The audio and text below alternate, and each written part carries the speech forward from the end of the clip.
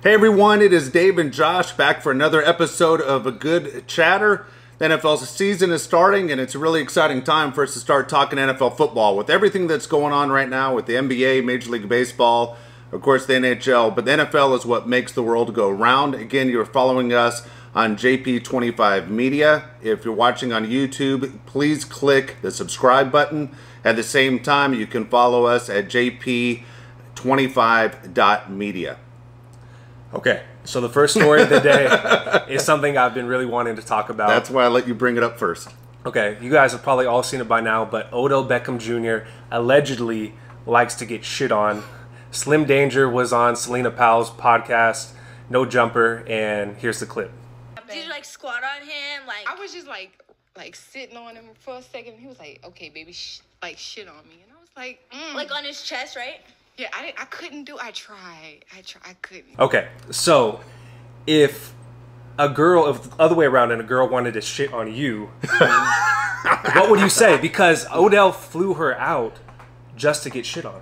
Yeah, that's a deal breaker. Yeah. If a girl shit on me, it would be a deal breaker. I don't care who she is. That's that that's on the list of no. It's craziness. We aren't doing that, dude. I don't understand. I mean, look, I know people have their own things and their fetishes and stuff. Yeah. People that want to get pissed on, I don't get that one either. Dude, even here you go. Even chick, look over at my own kid and say this. Even chicks that squirt, I'm thinking, how many sheets do you fucking go through? You know, and how often do you have to buy a new mattress? It gets Yeah. pretty expensive. You're with a chick that starts squirting all over the place. I was with one one time. Was, in Alabama, it was a nightmare. It was it was all over the walls. It was like a she was like a faucet. It was It's like a Jackson Pollock painting. Yeah, it was a human sprinkler. It was fucking out of control. But going back to Odell Beckham Jr.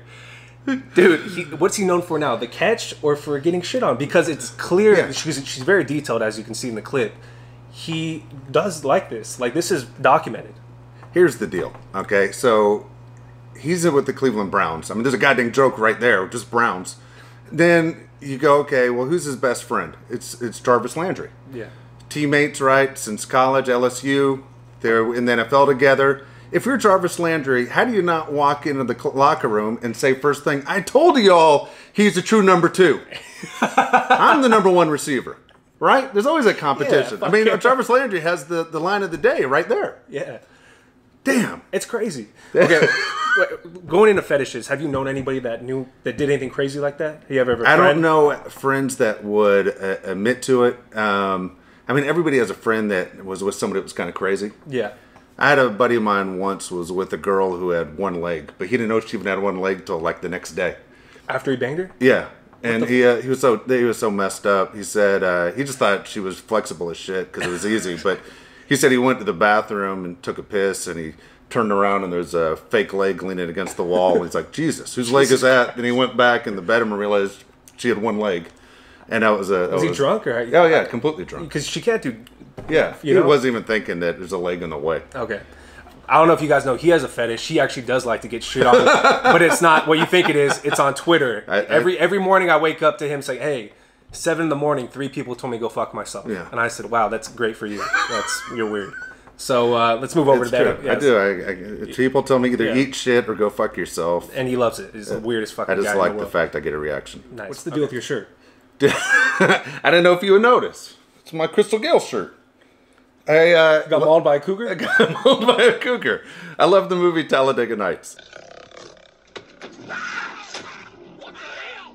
It's a goddamn cougar in the car. And so uh, when I saw I had an opportunity to buy the Crystal Gayle shirt that Will Ferrell wears in the movie, where she asks him, you know, the story about how his day was, I said, man, I'm buying that shirt and see if anybody would notice. But I sat down going, I'm going to make it through this whole show before you realize, are you wearing a fucking Crystal Gayle shirt? yeah, I'm wearing a goddamn Crystal Gayle shirt. Believe it or not, as a kid, she was my neighbor when I lived in Nashville, Tennessee. So it's kind of funny that it, she has her own shirt right now. But uh, yeah, sorry. Did I embarrass you? No, it's hilarious. It's fucking funny. Okay, so let's move over to the NFL. All right, so let's get into some NFL talk. That was the weird stuff. Hopefully, the weirdest thing to happen this year in the NFL. But some of the things going on, big stories, nothing bigger than, of course, Tom Brady going to the Buccaneers. So weird that a dynasty with the Patriots comes to an end with the separation of Tom Brady and Bill Belichick.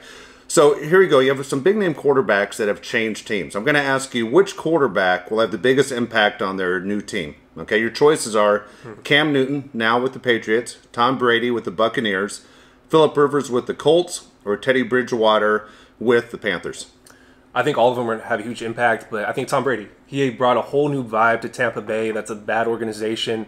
They got all these new guys: OJ Howard, Chris Godwin, Mike Evans. All look like they're ready to play now. Um, it's just a different vibe in Tampa. I think they're gonna make the playoffs for the first time in a long time. It will be something else to sit there and watch what's going to happen. It starts off with game one for them. You have Tom Brady and Drew Brees. I mean, two Hall of Famers. How exciting is that?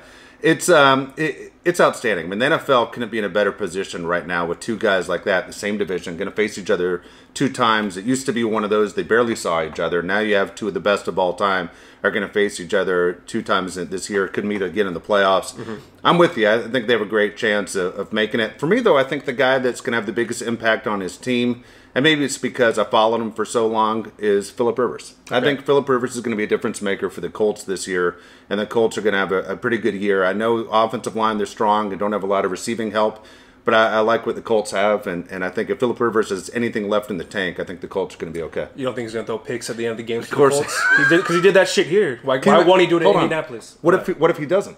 How pissed will you be now? I'll be really fucking yeah. pissed. As a Charger fan, I'm, like, I'm gonna root for him, but I'm kind of hoping he fucks up at the you're end. like you better know. fuck Yeah. up with the minute to go. Yeah, That's what we're used to. You, you didn't do it for us here. What if he turns into like John Elway in Indianapolis, where he's just like the most clutch guy of all time? That would be the most San Diego thing ever, right? Where our guy leaves and he does great, like Anthony Rizzo. It's like, fuck, dude. I've seen this fucking story before. What would be a bigger story right now in the NFL? The Buccaneers not making the playoffs or the Patriots making the playoffs? The Buccaneers not making the playoffs. When you have the greatest player of all time going to a new team with all this hype and he doesn't even make the playoffs when he always makes the playoffs, I think that's a huge story. Um, what do you think? I think that's the biggest story as well. The Buccaneers are loaded. They got a, a very good coach. He is an offensive co- head coach for the first time, meeting in Tom Brady. And for Cam Newton, number one, I'm just not a huge Cam Newton fan. Um, I think Cam Newton was always involved in things that football wasn't first. I understand since being in New England, they can't say enough nice things about him. He's already a team captain, which they say New England is a very rare in your first year. But as good as Cam Newton was, even his MVP year, there is no talent around him in New England. I mean, there is nothing there a bad team. for him to be good. And the Patriots have eight guys who have decided to sit out this season. I mean, they're only 22 when you consider the offense and defense. Eight of those 22 aren't playing this year. That's that's very tough. So um, for me, I think it's going to be a tough year for for Cam Newton. If the Patriots do well, fine. But I think they're kind of in a no lose situation, meaning that no one expects them to do anything. If they don't do anything, maybe they have a chance of getting a Trevor Lawrence. Exactly. And if they do something, then Bill Belichick can prove, guess what? It was me. It wasn't Tom Brady the entire time. Yeah, I mean, I hope they lose. They have two Auburn quarterbacks on their roster. They're a Boston team. They have everything going wrong for them. If they get a Clemson quarterback next year, I'm for sure rooting against them. I, I hate the Patriots. Okay, who are your picks to make the playoffs this season? Um, my, my, my picks to make the playoffs this season. All right, we're going to go with the AFC. I have the Buffalo Bills, who for the first time I think will win the East. In the North, I have two teams coming out. I have the Ravens and the Steelers mm-hmm.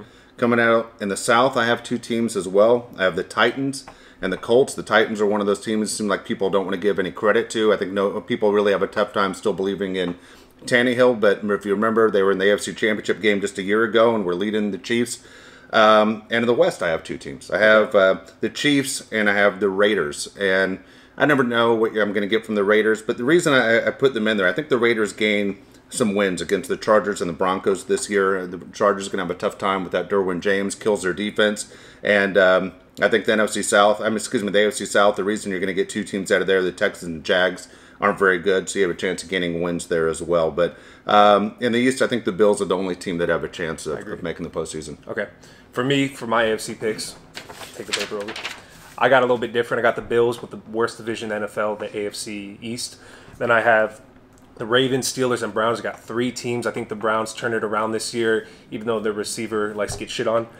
And the Titans coming out of the South as the only team that's a really bad division as well. I think Philip Rivers throws picks and fucks it up like he did here in San Diego.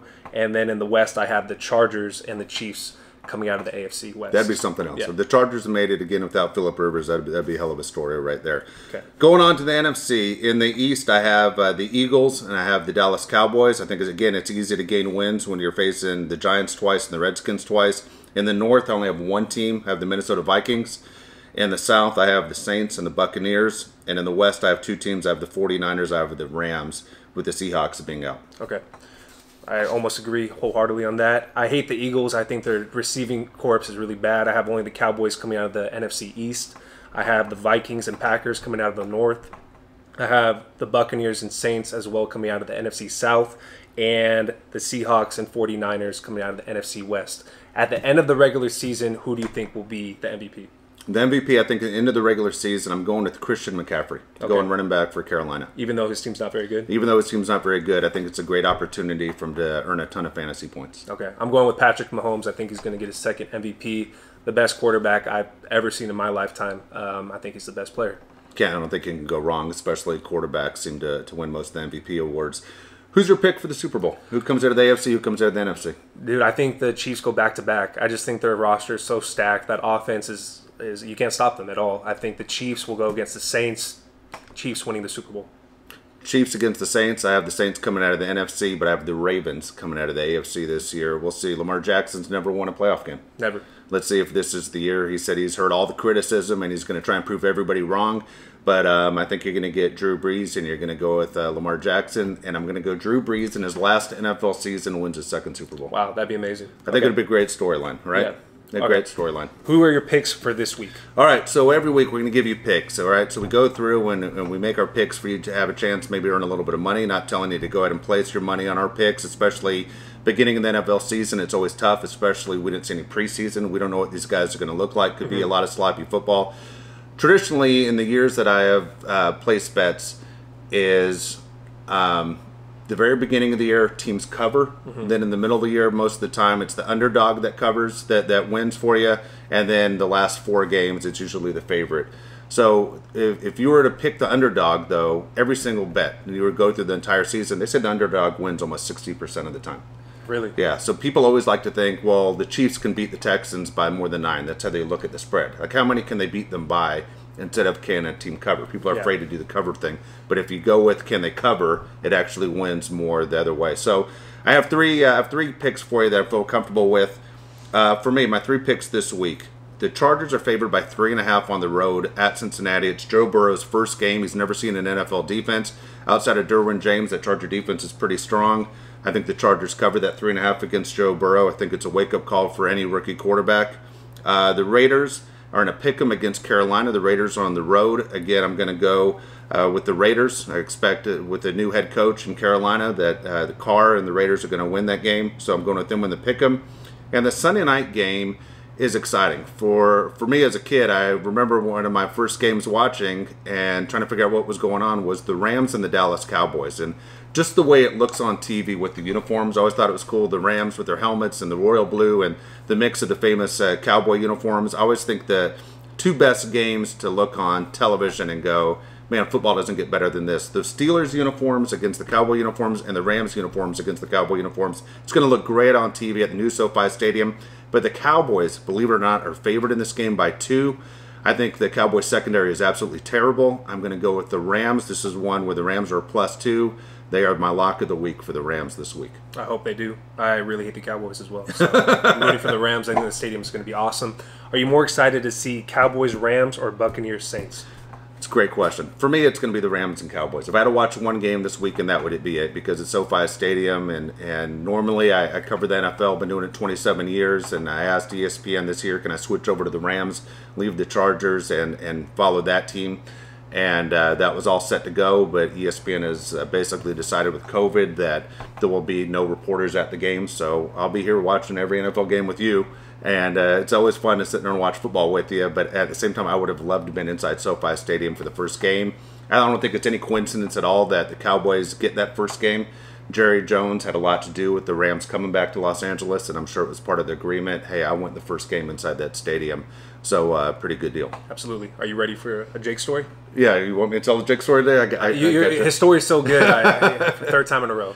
All right, I told this story earlier on uh, the Dave and Jeff show this week, so I'm gonna tell the same one because um, we got a bunch of them. But this is a story that that made me think of Jake because this week I just got back from Phoenix, Arizona, and I've coached Josh and Jake at a bunch of tournaments in Phoenix over the years, and it's always a memory of- something, usually something good. There's always a good childhood memories.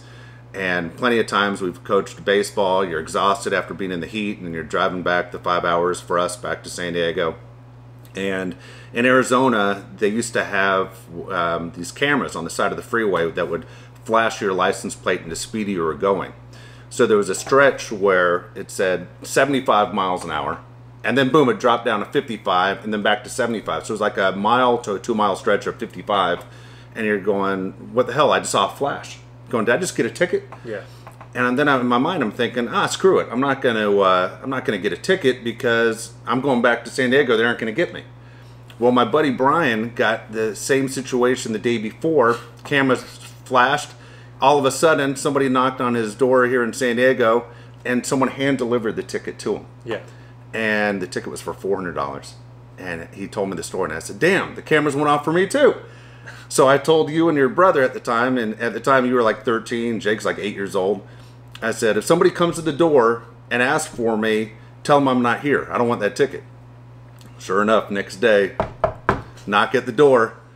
I don't even think about you know someone knocking at the door. If I just told you, Jake answers the door. I, I'm in the kitchen. I can hear him answer the door, and I hear a guy say, "Is David Pallet there?" Of course, pronounced my name wrong. And Jake goes, "My dad's not here." And he goes, "Well, I have something for him." And he says, Well, my dad died last month driving back from Arizona in a car accident. He's not here. And the guy just looked at Jake, turned around and walked away. Sorry for your loss. Walked away. And Jake saved me $400. Quick thinking. Boom. And he, and he saved me 400 bucks right there by telling the guy my dad died in a horrible car accident come back from Arizona. Brian had to pay 400 bucks. I got off scot free. They never once hit me back up for that money. Nobody was quicker on their feet than Jake. That's, yeah, that's a fact. Absolutely, absolutely. It was uh, it was awesome. So uh, again, uh, I appreciate the opportunity of always telling these Jake stories. And, and as you guys know, the JP and the JP twenty five is is for Jake in his memory. Um, again, you can follow us on Twitter at Josh Palet. You can follow me at Dave Palet, and again at jp25.media. And if you're watching on YouTube, please push the subscribe button. Also, look at the other shows that we have out as well. Josh does a great job with some very, very entertaining shows. They make me cringe, but people tell me all the time these are the best shows going. So if you get a chance, check out some of the other shows that we're putting out on JP25 Media. Absolutely. Thank you, guys.